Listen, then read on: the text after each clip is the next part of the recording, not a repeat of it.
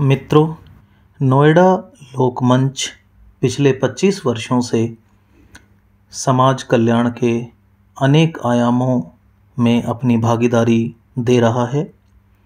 इसी कड़ी में नोएडा दवा बैंक, जो नोएडा लोकमंच द्वारा संचालित है, सेक्टर 12 नोएडा में स्थित है। इस दवा बैंक में काफ़ी तरह की सुविधाएँ रोगियों को प्रदान की जाती हैं।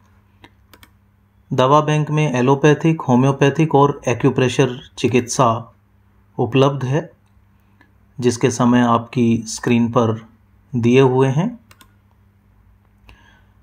नोएडा लोकमंच द्वारा संचालित इस दवा बैंक में आप देख सकते हैं कि किस प्रकार जो डॉक्टर्स हैं वो उपस्थित रहते हैं।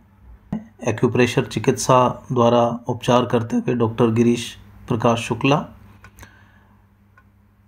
ये कुछ छायाचित्र हैं जो नोएडा दवा बैंक में दवाओं और उनकी व्यवस्था को दिखाते हैं। नोएडा दवा बैंक वास्तव में रोगियों के लिए एक वरदान की तरह है। नोएडा लोकमंच द्वारा उत्तराखंड प्रांत के स्वास्थ्य शिविर में सात हज़ार चार सौ सत्रह टैबलेट प्रदान की गई थी।